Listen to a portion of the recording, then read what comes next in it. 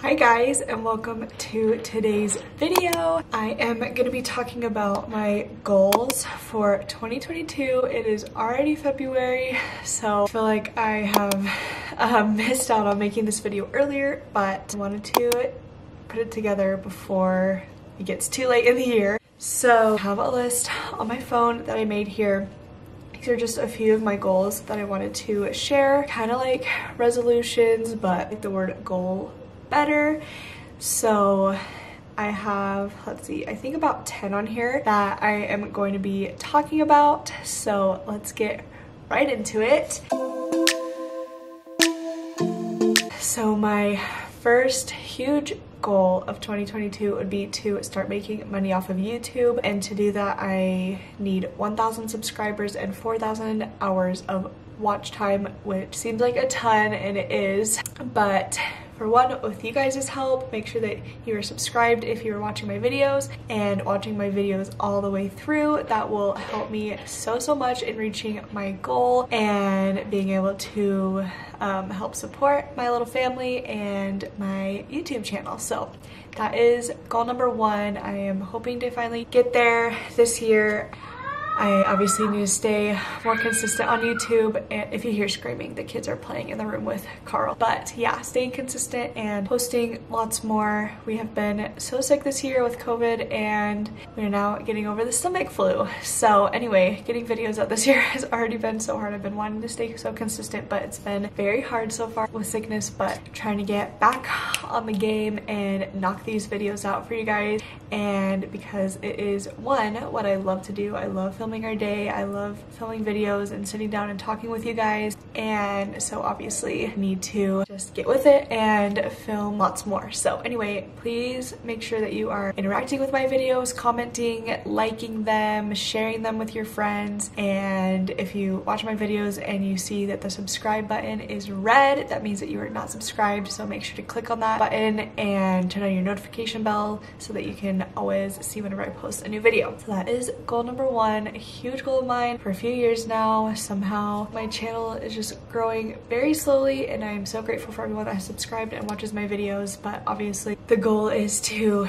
eventually be able to support my family while loving what I do making videos. So my next goal is what everyone says at the beginning of the year is to work out. I actually have a weighted hula hoop that I bought and I actually love it and apparently doing it for 30 minutes is like running two miles so you like burn the same amount of calories. Apparently it's supposed to like sculpt your abs and the whole thing so I am trying to work on that. Um, yeah, so trying to just work out more, take care of my body, and trying to just like how I look because that is obviously hard, especially after having kids, but trying to just be more consistent with moving my body and doing what makes me feel good. Next one is a big one. It's being more patient with my kids. I don't know if it's just because it's winter time and we're like stuck inside because it's freezing here in Utah. But I feel like I just lose my patience with them a lot more than I do in the summertime and the springtime when it's warm. So anyway, a big goal of mine is to try and be patient with them because they are little and they're still learning and trying to figure out life and have big emotions that they don't know how to control. I need to be a better better example of taking control of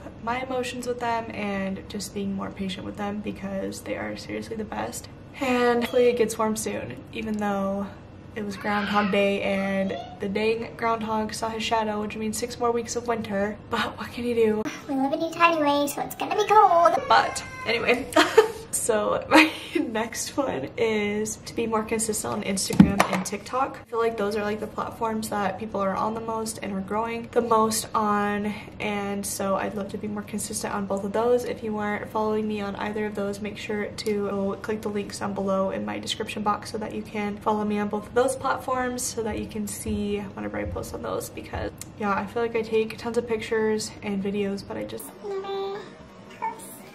so definitely gonna try and post lots more on both of those platforms because I feel like people are on those more and so you'll be able to see more of me on those if I post on there. My next one is to be a better listener. I feel like I'm a pretty good listener but I feel like I always if someone is talking to me about something, I feel like I want to like say something that say something that I'm feeling or like say a story that relates to me. So I feel like I just want to just listen and not like talk about myself as much. So that is another goal of mine. Another one is to have a better sleep schedule. And this is very hard for me because whenever the boys go to bed at night, I just want to lay in bed and watch shows all night long till like midnight or one in the morning. And then the next day I am so exhausted and feel awful. And so I want to try and turn my computer, my phone off at like 10.30 and just try and sleep. That is a huge goal of mine because I will literally just stay up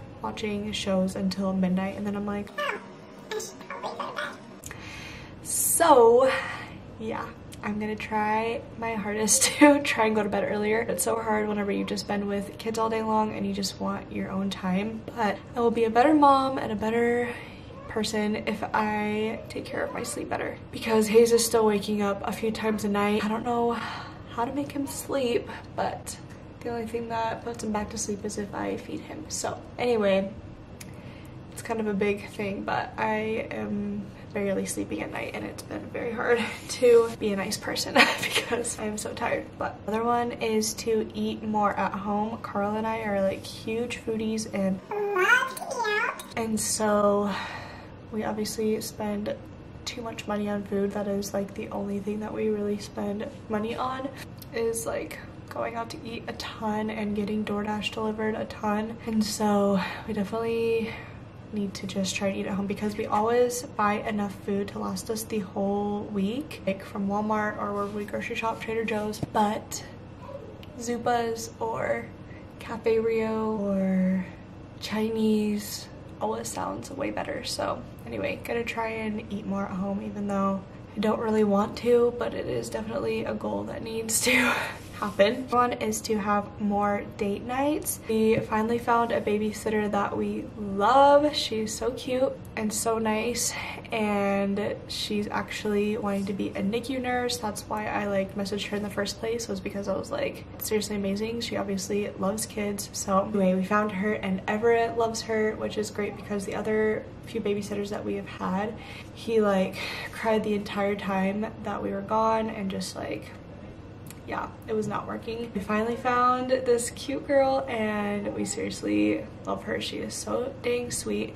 Um, and we're so grateful that she comes to watch our kids. So anyway, that is obviously a huge part of going on a date nights because we need someone that we trust and that kids love and that they love our kids. So anyway, we have gone out on a few date nights since we found her and it has been so good for us. We just even like one night we went out to dinner and then we just sat in the car and talked for like over an hour and it was just so good to just talk to Carl and just like present with him without our phones or our computers or TV or anything. It was just so good to just be there with him because we had not been out on date night. It's like even maybe before Everett was born. Like it's been forever. The times that we got babysitters was like Carl had to work and I had to be somewhere. So it's like not that we were having date nights before. So Anyway, we found a good babysitter, um, we have been going on dates and it has been so good for us. So to go out on more date nights